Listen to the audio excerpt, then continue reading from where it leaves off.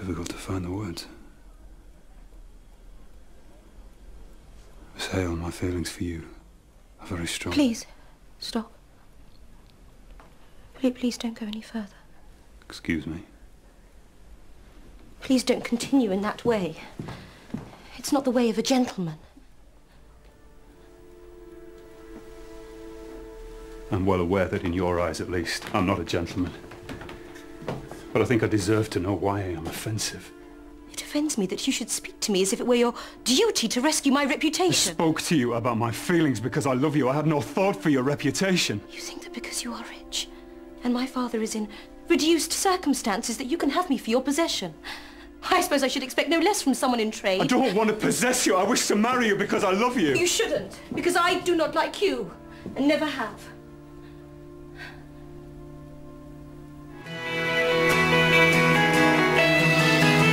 Is this the end of the moment? Or just a beautiful unfolding of a love that will never be? Or maybe be everything that I never thought could happen or ever come to pass. And I wonder if maybe, maybe I could be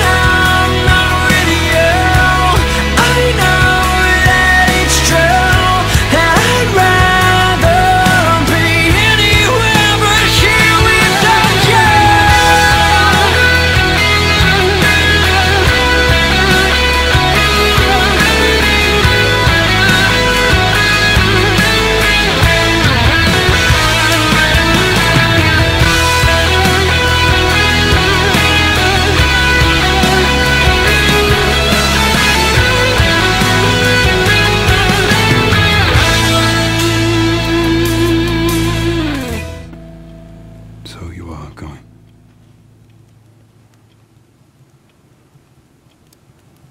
I'll never come back. I wish you well, Mr. Thornton.